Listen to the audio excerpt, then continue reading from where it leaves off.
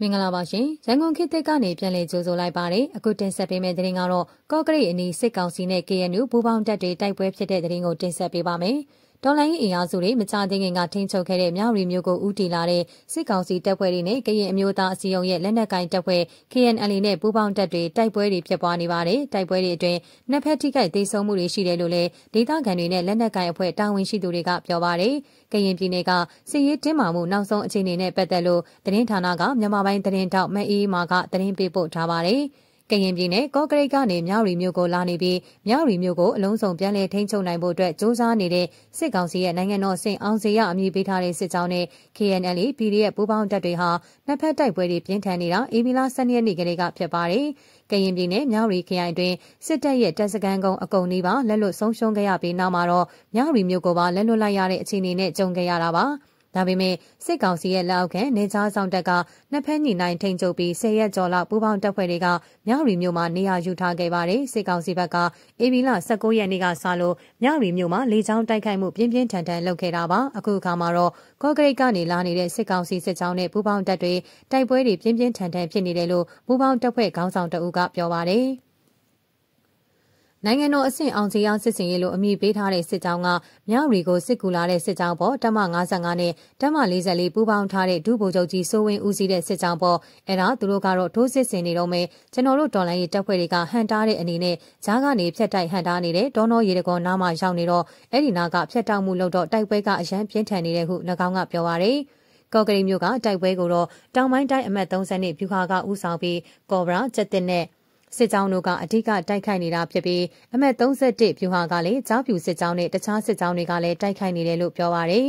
စစ်ကောင်စီဘက်ကလည်းဒီစစ်စင်ရေးကိုတော့ဒုတိယဗိုလ်ချုပ်မှုကြီးကိုယ်တိုင်မော်လမြိုင်မြို့ကနေကုတ်ကဲနေတာဖြစ်တယ်လို့လည်းဆိုပါရယ်။ အဲ့ဒီနိုင်ငံတော်အဆင့်စစ်စင်ရေးကိုတော့ဒုတိယကာကွယ်ရေးဦးစီးချုပ်ဒုတိယဗိုလ်ချုပ်ကြီးစိုးဝင်းကမော်လမြိုင်ကနေထိုင်ပြီးကွက်ကဲနေတာမြောက်ရီကိုပြန်လည်ထိန်းချုပ်နိုင်ဖို့အတွက်အောင်စီရစစ်စင်ရေးလို့အမည်ပေးထားပြီးတပ်မဟာ44နဲ့55နှစ်ခုပေါင်းပြီးထိုးစစ်ဆင်နေတာဖြစ်တယ်သူတို့ကရီမန်းချက်တော်မရောက်သေးဘူးသူတို့ထွက်လာတာက AB 9ရက်နေ့ကလေးကထွက်လာတာပါမော်လမြိုင်ကနေပေါ့ စစ်ကောင်စီရဲ့ဒုတိယဥက္ကဋ္ဌဖြစ်တဲ့ဒုတိယဗိုလ်ချုပ်မှုကြီးစိုးဝင်းဟာလူမြင်ကွင်းကနေပျောက်ကွယ်နေတယ်လို့သတင်းထွက်နေပြီးတဲ့နောက်မှာအေဗီလာ29ရက်နေ့ကမွန်ပြည်နယ်မော်လမြိုင်ကတပ်မတော်စေယုံကိုလာရောက်ပြီးဒဏ်ရာရစစ်တီတွေကိုတွေ့ဆုံခဲ့တယ်လို့စစ်ကောင်စီကသတင်းထုတ်ပြန်ခဲ့ပါတယ်။သူဟာမော်လမြိုင်အရှိတောင်တိုင်းစစ်ဌာနချုပ်ကို AB 10ရက်နေ့တုန်းကလာလာတော့မှ drone နဲ့ ပြစ်ခတ်ခံရပြီးဒဏ်ရာရရှိခဲ့တယ်လို့သတင်းတွေထွက်ပေါ်ခဲ့ပေမဲ့စစ်ကောင်စီဘက်ကတော့သတင်းထုတ်ပြန်ခဲ့တာမရှိပါဘူးလက်တလောတိုက်ပွဲသတင်းနဲ့ပတ်သက်လို့လည်းစစ်ကောင်စီဘက်ကသတင်းထုတ်ပြန်တာမရှိသေးဘူးလို့သိရှိရပါတယ်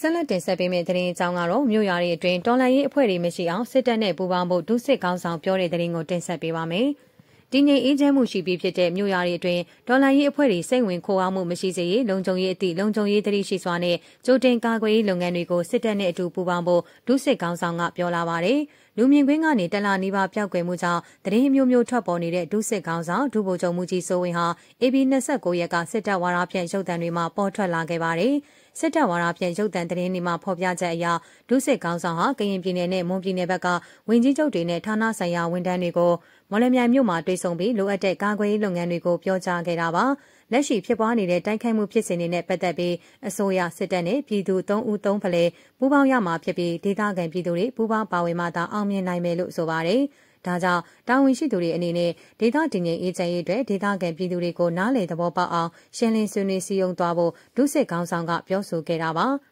မွန်ပြည်တော်လှန်ရေးတဲ့ MSI ပြောရေးဆိုခွင့်ရှိသူနိုင်နဂါကကြိုတင်ကာကွယ်ရေးလုပ်ငန်းနဲ့ပတ်သက်ပြီးဒုစစ်ခေါင်းဆောင်ရဲ့ပြောဆိုမှုဟာအမှန်တကယ်ပြည်သူကိုချင်းချောက်ဖို့ရာဇသံပေးလိုက်တာလို့သူ့အမြင်ကိုပြောပါတယ်။ ပြည်သူတွေကိုစစ်ကောင်စီနဲ့ပူးပေါင်းဖို့စီယုံပြောဆိုမှုအပေါ်မှာကျွန်တော်မြင်တာကတော့စစ်ကောင်စီဟာပြည်သူတွေအပေါ်မှာယုံကြည်မှုကင်းမဲ့နေပြီးတော့စိုးရိမ်ကြောင်းကြမှုတွေအတော်လေးကြောက်ရွံ့တုန်လှုပ်နေတဲ့အခြေအနေရှိပါတယ်။ဒါကြောင့်လဲပြည်သူတွေကိုစီယုံဖို့ဆိုတဲ့စကားလုံးကိုတုံးပြီးပြည်သူကိုချင်းချောက်ဖို့ရစတန်ပေးလိုက်တဲ့အချက်ပြပေးလိုက်တယ်လို့ပဲကျွန်တော်မြင်ပါတယ်ခမရဟုဆိုပါတယ်။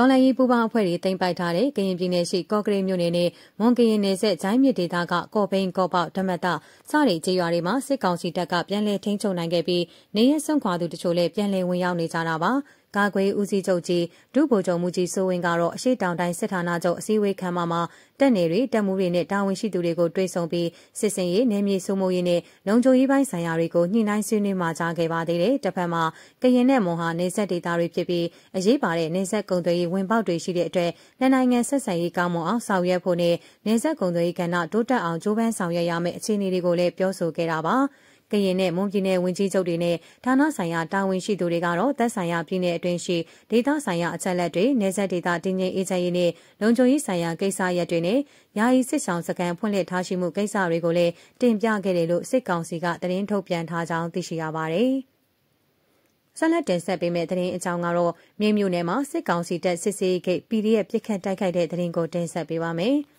တနင်္သာရီတိုင်းမြို့မြို့နယ်တုံးပြောကြီးကျေးရွာမှာအထိုင်ချထားတဲ့စစ်ကောင်စီတပ်စစ်ဆေးဂိတ်စကန်ကိုအနီးကပ်ဝင်ရောက်ပစ်ခတ်တိုက်ခိုက်ခဲ့ကြောင်းမြေခရိုင်ပြည်သူ့ကာကွယ်ရေးပူးပေါင်းစစ်ကြောင်းနှင့်မှတာဝန်ရှိသူတအုပ်ကပြောပါရယ်ယမန်နေ့ AB 30ရက်မနက်9:00နာရီခွဲကတုံးပြောကြီးကျေးရွာရှိစစ်ကောင်စီတပ်စစ်ဆေးဂိတ်စကန်ကိုပူးပေါင်းစစ်ကြောင်းမှရဲဘော်များကအနီးကပ်ဝင်ရောက်ပစ်ခတ်ခဲ့ရမှာအပြန်အလှန်ပစ်ခတ်မှုမိနစ်20ခန့်ဖြစ်ပွားခဲ့ကြောင်း၎င်းကဆက်ပြောပါရယ်။ အဆိုပါအနီးကပ်ပြစ်ခတ်တိုက်ခိုက်မှုမှာစစ်ကောင်စီဘက်မှ2ဦးပွဲချင်းပြီးတေဆုံ၍2ဦးထိခိုက်ဒဏ်ရာရရာဂိတ်နဲ့မလန်မကန်တုံးပြောစာတင်ကြောင်းတွင်တက်ဆွဲထားတဲ့စစ်ကောင်စီတပ်သားများကလက်နက်ကြီးလက်နက်ငယ်များဖြင့်ပြန်လည်ပစ်ခတ်ခဲ့သည်ဟုပူးပေါင်းစစ်ကြောင်းနှင့်မှတာဝန်ရှိသူတအုပ်ကရှင်းပြပါသည်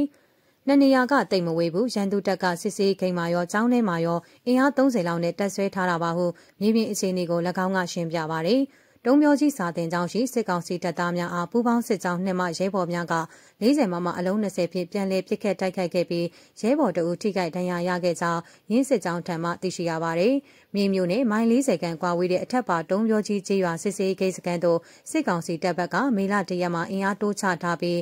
စစ်စင်ရေး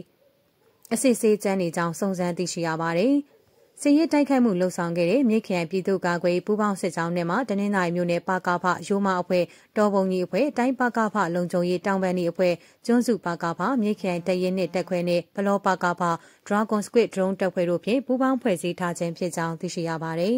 ။ဆက်လက်တင်ဆက်ပေးမယ့်သတင်းအကြောင်းကတော့ Lycor Dimoso အမှတ်နှစ်ဂိတ်နဲ့ပန်းကန်ဂိတ်လမ်းများကိုလုံခြုံရေးအရာရဲအကန့်အသတ်မရှိပိတ်တဲ့သတင်းကိုတင်ဆက်ပေးပါမယ်။ကရင်ပြည်နယ် Lycor Dimoso ကုန်စည်စည်းစိမ်နေသည့်အမှတ်နှစ်ဂိတ် ပန်ကန်းဂိတ်လမ်းများကိုလုံခြုံရေးကြချက်အကန့်အသတ်မရှိပိတ်ထားမည်ဖြစ်ကြောင်းကရင်ပြည်ဂျာကာလာအုပ်ချုပ်ရေးကောင်စီရိုက်ကော်မြို့အရေးပေါ်မြို့စီမံထိန်းသိမ်းရေးကော်မတီကမနေ့ကတရားဝင်ကြေညာပါတယ်။မေလတရက်မှစ၍အဆိုပါဂိတ်များနဲ့လမ်းများကိုရက်အကန့်အသတ်မရှိလုံခြုံရေးရပိတ်ဆို့လိုက်ခြင်းဖြစ်ကြောင်းသိရပါတယ်။ထို့ကြောင့်လိုက်ကော်မြို့ကန်ကျေးရွာအုပ်စုများမှပြည်သူများအနေနဲ့သက်ဆိုင်ရာကကြီးညာချက်အသစ်ထုတ်ပြန်သည့်အချိန်ထိတားမြစ်ချက်ကိုသိရှိလိုက်နာဆောင်ရွက်ပေးရန်ကရင်ပြည်လိုက်ကော်မြို့အရေးပေါ်မြို့စီမံထိန်းသိမ်းရေးကော်မတီကကြေညာပါတယ်။ လုံခြုံရေးရလမ်းပိတ်တယ်ဆိုတော့တိုက်ပွဲတွေဖြစ်လာမယ့်အခြေအနေကတော့ရှိတယ်စစ်တနန်းတွေလည်းဆင်းထားတာဆိုတော့ဒီတစ်ခေါက်ကတော့လိုက်ကော်မျိုးသိန်းတိုက်ပွဲဖြစ်လာမယ့်ထင်တယ်ပြည်သူတွေအနေနဲ့ကြိုတင်ပြင်ဆင်တင်တာတွေပြင်ဆင်ကြပါဟုကရင်နေပြီလိုက်ကော်မျိုးမှာနေထိုင်သူဒေသခံတအုပ်ကပြောဆိုကြောင်းသိရှိရပါတယ်။